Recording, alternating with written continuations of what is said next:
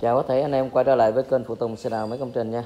Hôm nay sẽ à, quay cái anh à, thợ à, nhà nghề của mình lắp cái bơm bảo hành cho người ta.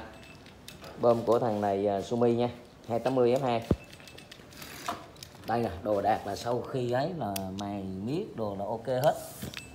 Đấy.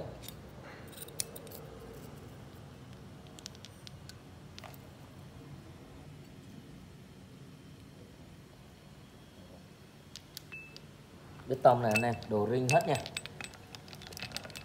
Đồ rất riêng chỉ ờ, mở ra rồi đánh cái ấy đánh cái mặt gà với cái uh, búa rồi đẹp. Đấy. Thì uh, hôm nay sẽ ráp. Ở trong quay ở trong chút. Đấy. Rồi mặt trà đã đánh xong. Chờ. Lắng lẫy anh em.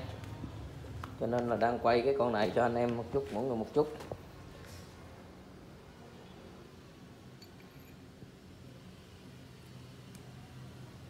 Cái này là thợ nhà nghề nha anh em. Anh em cần bảo dưỡng đồ thì cứ việc alo. Này là bơm quay anh em quân bơm quay của con Sumi uh, 280 F2 rất đẹp anh em. Đồ đẹp dữ lắm. Thì ờ, mở ra vệ sinh rồi cho chụp hình cho khách. Bây giờ là khách muốn mình ráp rồi ráp luôn.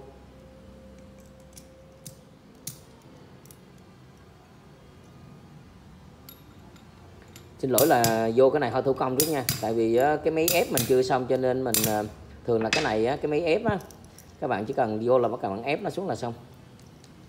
Rất là dễ. Không có thì bắt buộc mình phải dùng ờ,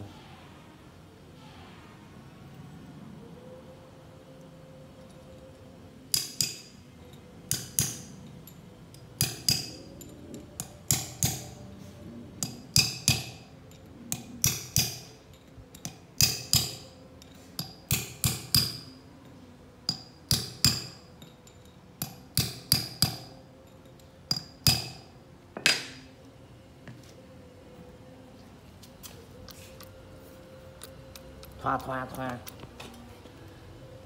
Riêng cái dòng này anh em riêng cái dòng này nè xài đến một đỉnh điểm nào đó là nó sẽ bị sụp cái đế nó sụp cái miếng ở trong á. Mình gọi là sụp đế mà không biết là mấy anh em gọi là cái gì nhưng mà bên trong á là nó sẽ sụp cái miếng nó sẽ không lắp được. Là để cái nó nó ăn với cái mặt ờ, vô ở trong á. Ăn với cái mặt uh, gương.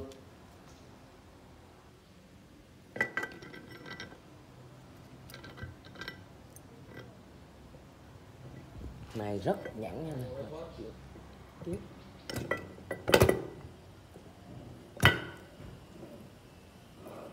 Đó.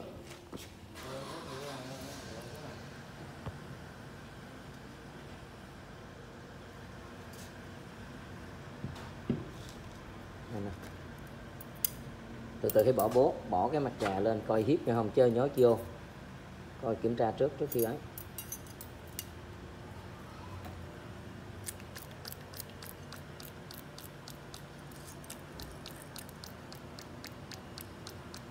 chứ bỏ bố vô làm sao quay? Rồi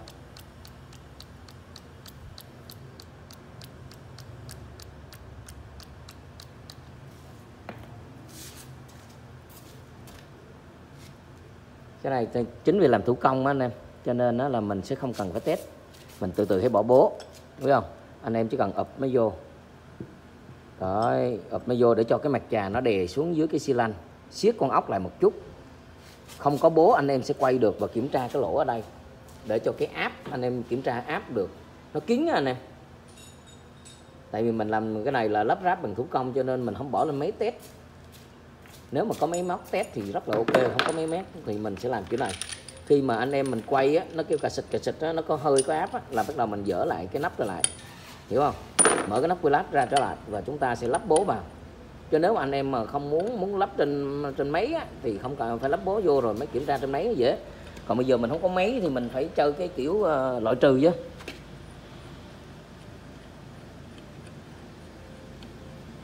Siết nhẹ cái là mở cái ra mình quay nó có áp là ok. Là bắt đầu mình lắp mở ra ra. Đó là một trong những cái mà mấy anh em kinh nghiệm kia họ bày mình.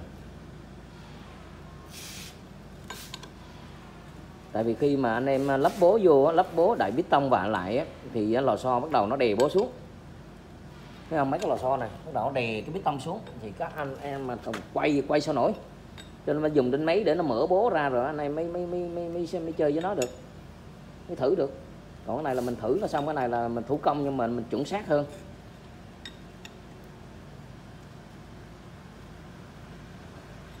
Đấy xong cái là bắt đầu là ngửa nó ra bắt đầu là lấy cái quay. Thấy kim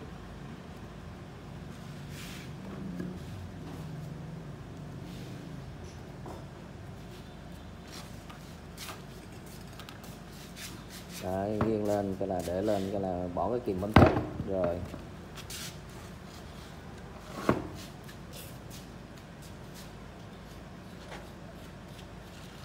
Bỏ cái kìm bấm chết cái đây là lắp ráp đơn giản nha này mình kiểm tra đồ riêng hết rồi. Thì cái này là một trong những cái đơn giản để mình kiểm tra áp trước khi mình ờ, ráp. Rồi các anh em nghe không? Nghe nó kêu không? Đấy nó kêu cái sạch sạch đấy bịt lỗ nè. Hút không? Đấy anh em nghe nghe, nghe nó kêu cái sạch sạch không? Đấy nó hút ở trên cái tay rất là kỹ nha rồi ok mở ra ra lắp bộ nè thì như vậy là mình canh được cái mặt trà nó kín. Và cái à, nén của mặt trà anh em, nó có phải hở hay không hở nữa? Rồi cái là mở ra cái là thay bố vào là bỏ bố vào là lắp bê tông vào là xong.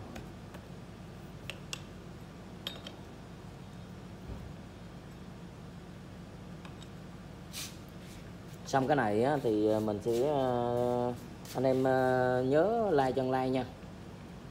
Anh em cần phụ tùng thì ới cho phụ tùng sẽ đào mấy công trình. Số điện thoại là 0907 255 116 anh em cần sửa chữa lắp ráp cái này thì cũng có thể làm được. Có ông thợ nhà nghề không làm được. Có ông thợ nhà nghề không làm được anh em. Đấy sau khi quay qua này các anh thấy không? Mình chút nhớt thôi là được. Đó thì sau khi lắp cái này là mình sẽ quay tiếp cho anh em xem một cái series nữa. Đó là lắp cái con ZX 330 cái bơm. Đồ đạc là chuẩn bị sẵn rồi đây này đợi mình chút xíu rồi cũng thợ nhà nghề lắp luôn.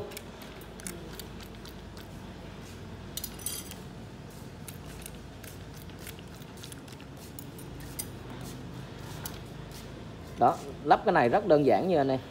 Rất là đơn giản không có gì mà phải ấy cả. Cho nên ờ, mấy ông chủ xe thì cũng có thể làm được ở nhà. Tại vì cái này cái bông quay thôi mà.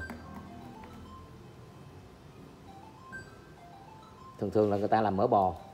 Ông thợ nhà mình ông vớt nhớt luôn anh em cho nó dễ.